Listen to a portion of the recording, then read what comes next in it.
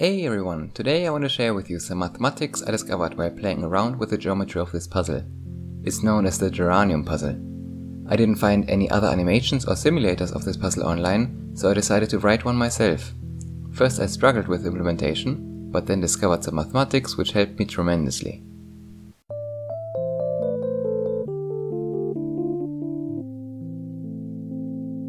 A while ago I stumbled across the geranium puzzle shown here in its solved state. You do a move by picking a circle and rotating it by 36 degrees, a tenth of a whole rotation. The aim is to get it back into the starting configuration, which is really difficult. What makes it so difficult is that pieces do not always align nicely and restricting the moves that you can do. This move for example is not allowed because of these two pieces blocking the rotation. To get started, let's define the geometry. We align the center of the puzzle with the origin 0, 0. Clearly, the puzzle is made up of 5 circles, but where exactly are these located? Well, the right circle could be centered at 1, 0. The other circles are then rotations by 72 degrees around the origin. The other centers can be calculated using the cosine and sine functions. After evaluating these expressions, we see that the coordinates have a lot of nested square roots in them. Quite horrendous to be honest. Alright, so now that we fixed the centers of the circles, you may ask, well, what's the radius of the circles? Actually, we have some freedom here. Anything between about 1.2 and 1.5 would work. Note that the puzzle stays fully functional for any such value of r.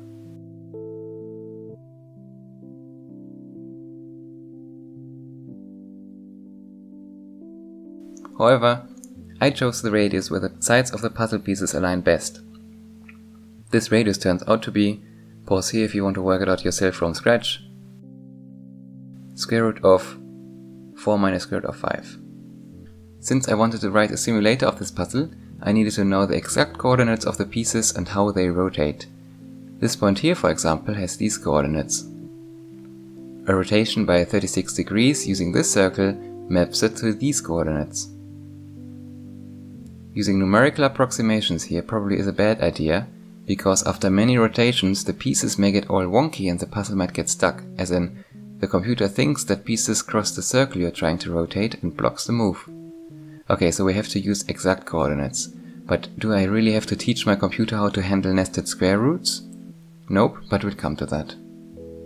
I chose the radius square root of 4 minus square root of 5 not only because it is the most aesthetically pleasing, it also gives rise to some nice mathematics. For instance, think about how you would calculate the coordinates of this intersection. Maybe you would do it by calculating the intersections of these two circles. This would work, but here's a simpler way. Note that this intersection on the left here lines up exactly at minus 2. This is because of the value of r I chose. To calculate the intersection now, we simply need to do a rotation of 144 degrees clockwise around the origin. But wait, there's more to discover here. Check out this line. The midpoint exactly aligns with this other intersection of two circles. This is also because of the special value of r. Hence we reach it by adding one blue and one orange arrow. In fact, all corners of the puzzle pieces can be constructed by adding some of these 10 arrows together. For me this was very surprising. So you may ask, what's the point of all this? Well, it makes calculating the movements of the pieces for the computer way easier. The script that animates this video does not need to handle square roots at all, yet it performs rotations with no loss of precisions you would otherwise get if you use numerical approximations. Instead, all it does is use vectors and matrices with integer entries only. This is a piece of cake for the computer. For the remainder of this video I want to show you how that works. But first, let's simplify our observation a bit. We actually only need 5 of these arrows, because the other 5 are inverses, we would simply say, instead of one cyan arrow, we use minus one red arrow. Actually, even the purple arrow is not needed, as its inverse equals the sum of the other four vectors, shown here with a regular pentagon. Therefore, all corners of the puzzle pieces can be represented using a combination of only these four arrows. It turns out that the representation is also unique, as in all corners of the puzzle pieces, in whatever state the puzzle is in, can be represented in exactly one way by adding or subtracting these four arrows. I promised we'd be using vectors and matrices. So how does that work? We can map these arrows to four-dimensional vectors. We define the red arrow to correspond to the first unit vector, and we do the same for the other three arrows. The inverses correspond simply to the negative versions of the four vectors we just defined. Instead of adding arrows, we add these four-dimensional vectors, which means that the two missing arrows have the following coordinates as demonstrated with the pentagon earlier. Let's rearrange them in the most natural order. Now, our leftover task is to find a matrix which maps the red vector to the orange vector and that to the yellow vector, etc. around the circle. Pause here if you want to figure it out yourself. A small hint if you got stuck, as always with matrices, the unit vectors here corresponding to the red, yellow, green and light blue arrows are mapped to the columns of the matrix. Alright, indeed these four vectors form the columns of the matrix. We can check that this matrix does the job as required by plugging in all 10 vectors.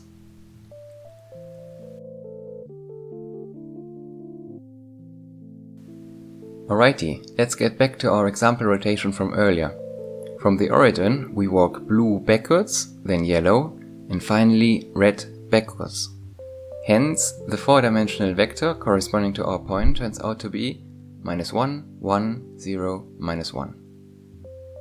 As our four-dimensional matrix rotates around the origin, we first have to add the arrow from the circle center to the origin. Since green is going the other way, we write minus 1 into the third entry of our vector. Now we can do the rotation and multiply this vector with the matrix. But note that we are now using arrows other than the four we've shown on the left. We can flip them, as for example cyan is the same as minus red. Now this looks much better, but we are still using the purple arrow. We can get rid of it using the pentagon trick. Note now that the arrows are aligned with the coordinates of our vector. 2 red 2 yellow, 1 green and 2 blue. Finally, we add the arrow from the origin to the circle center, i.e. we add one more green. And we're done. In summary, to perform a rotation, for each coordinate we merely need to be able to add vectors and multiply with matrices. Now the computer still needs to know where to draw the pieces on the screen, so we need to convert our four-dimensional vectors back into x and y coordinates. To do that, we use this 2x4 matrix containing some values of the cosine and sine function. We actually can use numerical approximations here because the error does not propagate, as we do not continue our calculations with the result. So, that's it from me. I hope you enjoyed this little fun dive into the geometry of the geranium puzzle. If you want to know more about what's happening behind the scenes, you should read up on cyclotomic fields. They also come up in algebraic number theory, for example in the proof of Fermat's last theorem. Thanks for watching and see you next time. Bye.